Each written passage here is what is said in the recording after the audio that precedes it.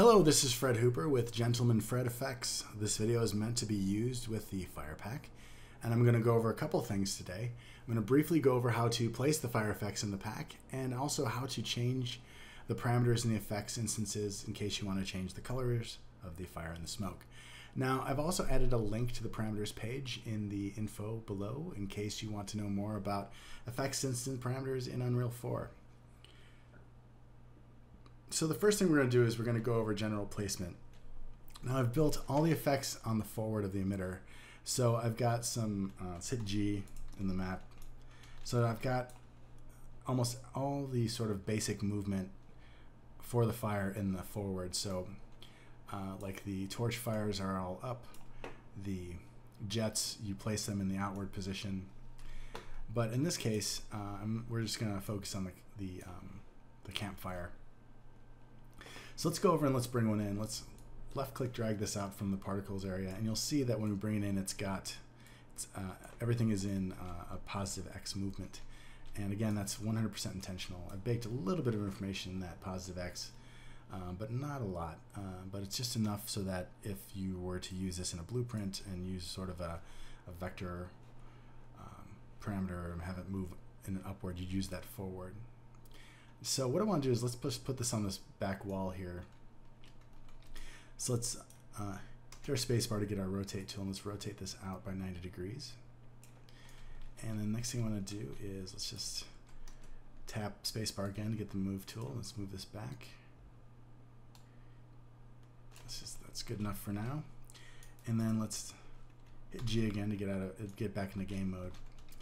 And uh, you can see that it still is, has a natural movement. I've, I've put in some constant acceleration in, uh, in Z and a little bit in X, so it has a little bit of a diagonal motion, but it's always going to be moving up uh, in sort of a natural movement.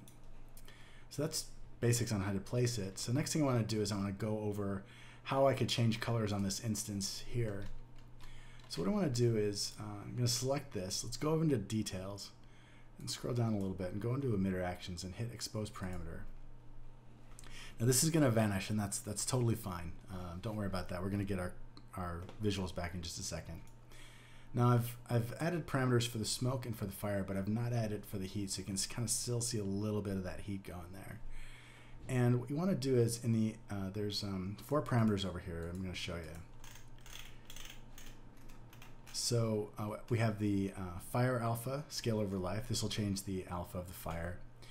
The uh, fire color scale over life, which will change the color of the fire. The smoke alpha will change the smoke's alpha. And the smoke color will change the smoke color. So the first thing we're going to do is we're going to change the, um, the color of the fire. So let's go down into the uh, alpha scale over life, and this is a scalar. So what we need to do is, because this is a scalar parameter type, all we need to do is change the scalar uh, entry. So let's make this 1. And you'll still see nothing's happening here, but in just a second we'll get to that. And the next thing we want to do is we want to change this uh, to color. Now this is a vector parameter. Let's click on the color. Let's make this a little bit of a green color. And you can see this is jittering like crazy, but you're still not seeing anything happening here. And that's because the fire shader is an additive shader, and this is still set to black. So to see any sort of visual, we need to move this up. So now we're seeing a little bit of that color in there. So let's just select a color here. Something a little bit green, green and warlockish, uh, just like that. So then uh, with that color selected, hit OK. Now let's say I want it to be a little bit more intense. So all we need to do is let's go back down into the uh, alpha and let's make this 5. And you can see this has gotten a little bit brighter. Now this is also tied into the light. So it's also changing that light intensity in the back. So let's make this, uh, just for now, let's make it 3, so a little bit brighter.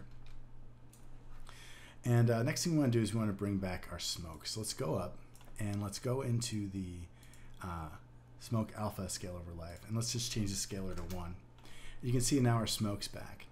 But it's still uh, not, it's still using sort of a black, a black color. So let's uh, click on the color. Let's make this white. Now, all the all the smokes in here are pretty dark, uh, and these are all lit shaders. So, um, generally speaking, you're going to need to, um, if you want this to be anything other than a dark color, you're going to need to have this vector go over one. So let's make this five, and you can see that it's it's changing to a little bit of a brighter smoke there. Now you can also change the colors here too. So let's make this 50, and now I've got a red smoke because uh, the X, Y, and Z are red, green, and blue. So let's let's be a little bit more uh, nice here. Let's make this a green smoke instead of a red one. So let's make this 50. And now you can see we've got a green smoke with a green fire. Let's make it 15. That's a little crazy. So um, anyway, that's all I really wanted to show you here. Uh, so you can change the fire and the smoke as much as you'd like, uh, and uh, you know just have fun with it. I do.